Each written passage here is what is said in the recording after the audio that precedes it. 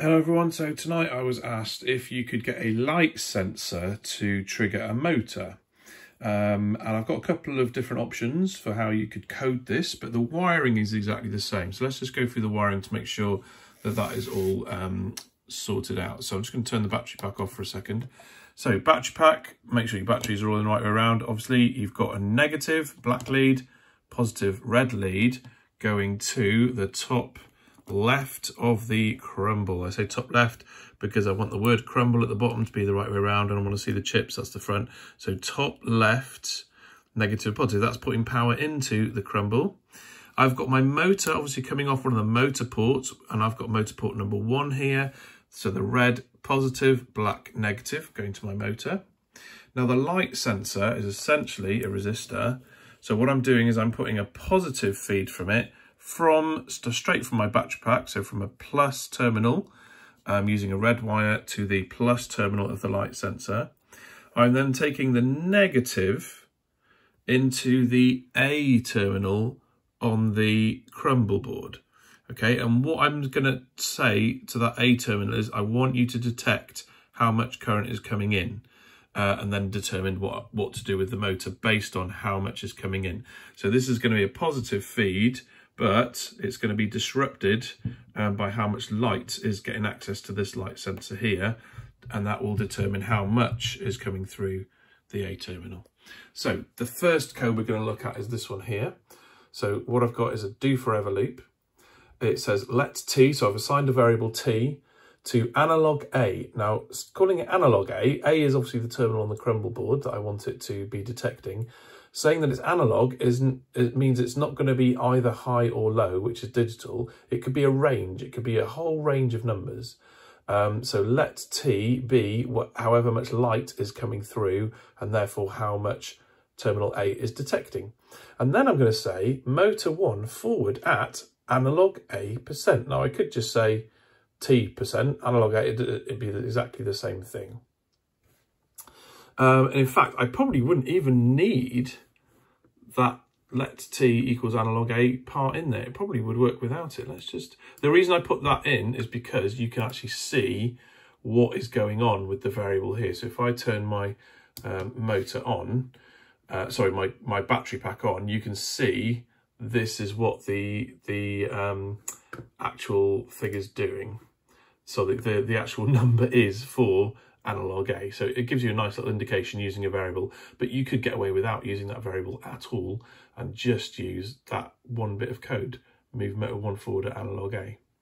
Um, but this is what it's doing, and I'm going to cover the light sensor with my finger like this. Oh, and you'll see what happens to that variable. So as you can see, if I cover it up, you'll see it goes less and less and less and less down to zero. If I put my finger right over it, oh, I can almost get it to zero.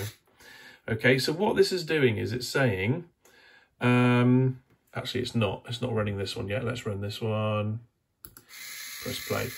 It's going to move it forward at this percentage. So at the moment, obviously the highest it can go is 100%. So it's moving it quite fast. The motor is moving quite fast. But as I start to cover the light sensor and that light dips, there the speed of the motor should decrease as well. So let's have a quick look. So there's the motor and I'm going to start to press my finger over this. Watch the motor.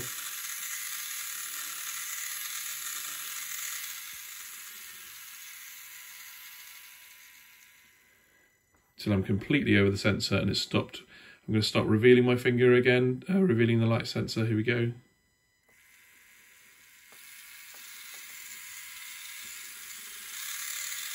So the more light it gets, the faster the engine will go.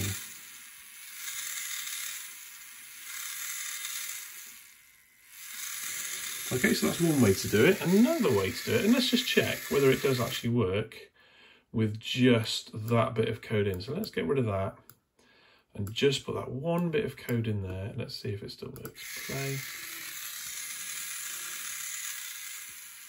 Yep. So you're controlling the speed of that with the light, to the light sensor. Brilliant. So it will just work with just that. Okay. The next thing, let's just stop that for a second. The next bit of code we're going to look at is this one down here. So let's have a quick look at this. And what this is saying is, So I've still got my variable, let T be analog A, so it's detecting it. But if T drops below 50, make the motor go. Otherwise, keep the motor stopped. So in this one, if the light goes below a certain level, it's going to trigger the motor to go. So maybe you have an instance where um, you've got a robot uh, and when it's sat in the dark, it will motorize itself out of the dark into the light or something like that. I don't know, but that bit of code should do that. So when T gets less than 50, it's going to start the motor up. So let's press play on this one and we'll see if it works. So the motor isn't moving yet because we've got plenty of light. But if I start to cover the light, and remember, this is not analog, it won't speed up and slow down. It'll either be on or off because I've got the motor either going forward at 100% or it's stopped. Okay, that's, that's my selection there, if then else. So it's either going to be on or it's going to be off. So let's see if we can dim the light enough and the motor should go at full speed as soon as it drops below 50. Oh, battery, oh, battery pack is on. So let's just drop that light. There it is. As soon as I give it light, it'll stop. Um, and just in case you didn't know, the red light on the crumble board there is just to show that the, motor is turning. Uh, and that red light will still carry on even if you haven't got the motor attached. It will show you that there will be a motor running um, if that light goes on. So.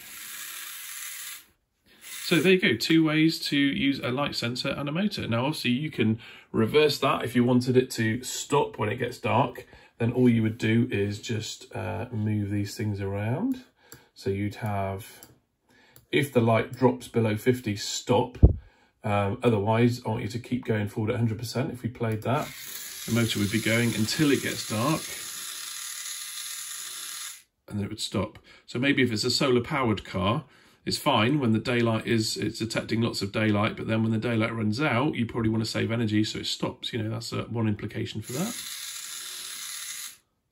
Um, and similarly with this one, so yeah, to get it the opposite, so that the, um, on this one, so that it would actually speed up when it gets dark rather than slow down when it gets dark, you'd need to introduce this back in um, the let T be analog A because what you want to do is figure out what the maximum light that is going to be. So 160 something is the maximum light that we get. 140, oh 200, went up to 200 there, 205. Great, so what's happening on this version is it's slowing down, isn't it, when we cover the light. But if we wanted it to go the other way around, to speed up when we cover the light, we'd have to essentially do a uh, negative, we do a 200, let's do 210, take away analog A. And that would mean it would be running very slowly or not at all until you covered the light and then it would go faster.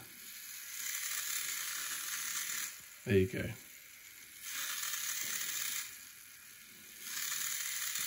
And remember, if you go into negative numbers, it'll probably make the motor spin the other way. So let's try increasing this, so 250, take away analog A.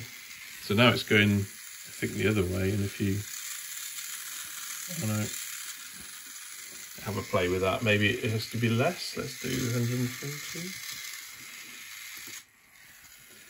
And then, yeah, that's better. And then you can see it.